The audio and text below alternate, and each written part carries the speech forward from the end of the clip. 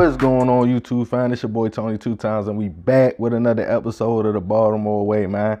Y'all know what I need y'all to do. Be sure to like, comment, share the video, man. We back with another cautionary tales about the streets, man. I hope y'all listening. Watch the video to the end. You feel me? Cause it's jewels in this video. But let's get right to it. Sometimes being in the wrong place at the wrong time can have consequences that a person can't come back from. We all know that what we call the hood or our blocks have claimed the life of many, whether it's the streets, competition, or a bystander getting shot by a stray bullet. It kind of becomes normal after a while, even though it shouldn't be. Being from the streets or wanting to be from the streets has claimed many souls. The streets are undefeated in all 50 states of America. On some occasions, people got caught up playing a game that is rigged. For one Baltimore man, it was a roller coaster in the East Baltimore streets.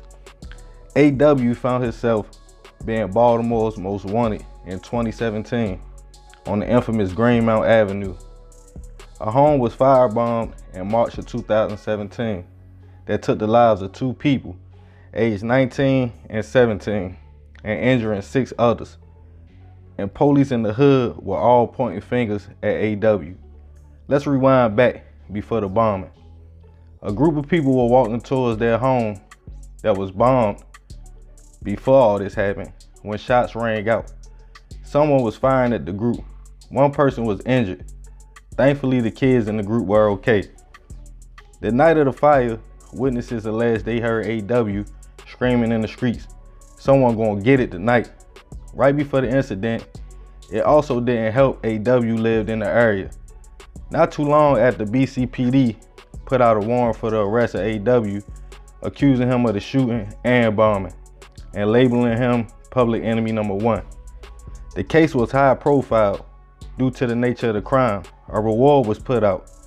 AW eventually surrendered to authorities, claiming he was innocent and never committed the crime.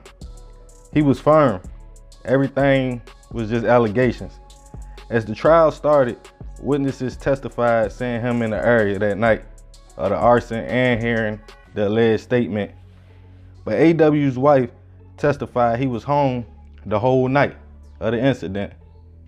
AW would eventually end up beating both cases, leaving some people angry and some confused. After his acquittal, AW's family urged him to leave the neighborhood, as a lot of his friends were fatally shot on the same blocks but it's just something about the allure of the streets that takes more from us than we ever get back. But some people love it. Once you are charged with anything that took the lives of people, even if you are innocent, it's a bad idea to go in the same area of the victims' families. Grief and anger can be a deadly combination. In AW's case, this would be not a different situation. AW was found with gunshot wounds in East Baltimore. He was taken to John Hopkins Hospital where he was pronounced deceased. Family said after his death, AW had a lot of potential. He just could not stay away from the hood. Whether AW was innocent or guilty in this situation, I don't know. I'm not the judge. Only the Most High know that. But I do know nothing in the streets go unpunished. He say, she say, finessing somebody, even showing too much love. Why is it that we love blocks and hoods so much, especially if we don't own nothing on them? Some say that's all they know, but is it they all they know or all they choose to know? Maybe because as black people, we never knew our real home or where we really came from. But I can say you can't beat the streets. No matter how tough or real you are, it always wins at the end. Man, this is a crazy story, man. I send my condolences to the family of the people that lost their life because it was two young men. Even a four-year-old had got injured in the bombing, but you know, she survived. But that's a tough situation because I had a family member that something similar happened to, you feel me? He got a bunch of time. Somebody said they heard him say something on the block at night in South Baltimore, and the dude he was talking to something ended up happening to him that same night.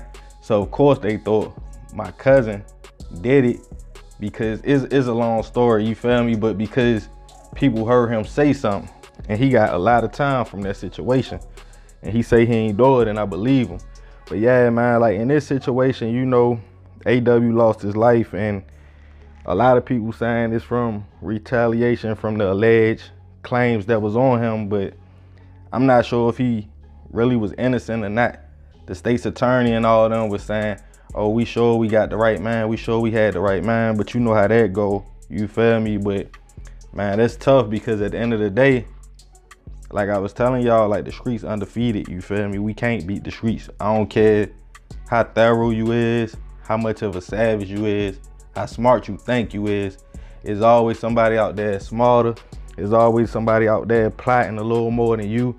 There's always somebody out there that'll go that extra mile. So at the end of the day, ain't nobody winning. You feel me? And that's what it took me to really wake up and open my eyes. Like, man, it's a lose-lose.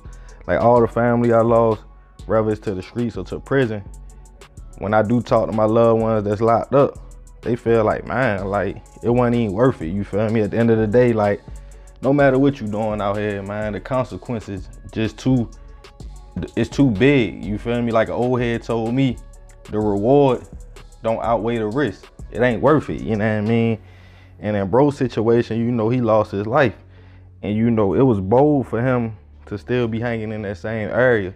I don't know his ties to the area. I mean, I'm sure he was from there, but sometimes man, ain't about being a sucker or being weak.